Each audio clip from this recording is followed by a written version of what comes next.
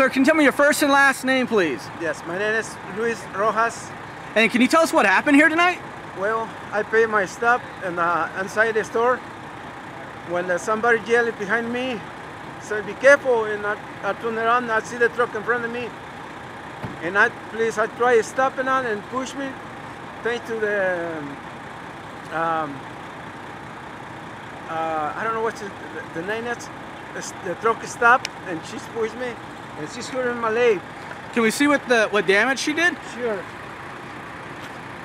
Just got a little open here. There's now uh, just the color coming up. And I got one more right here. Wow. So the, the clerk inside pushed you out of the way? Oh yeah. Wow. Did you see who was driving that truck? Uh, this uh, younger lady, uh, it's, just, it's all I see because a lot of smoke, uh, a lot of dirt. Wow. I'll be scary. It'll be scary, baby. You lucked out, that's for sure. I'm lucky. Do you, do you have any do you have anybody here with you?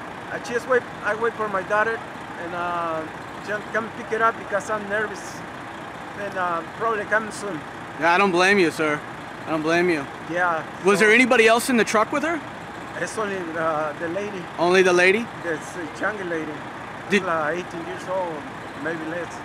Did she wait around for the police or did she try to leave? Uh, she started jumping the, uh, behind the truck, and I don't know if she's she's got it or not. I, I was inside. I'm inside. I'm lock inside because the truck is locked the door. Perfect. Hey, sir, I really do appreciate your time. Thank you so much. Thank you. I hope. So your grands your your grandpa got lucky tonight. Yeah, he did. You Very glad lucky. you glad that he's all right? Yes, I'm very glad. I can tell. I can tell. Tearful tearful reunion. I can tell you guys love each other very much. All right, you guys have a safe night.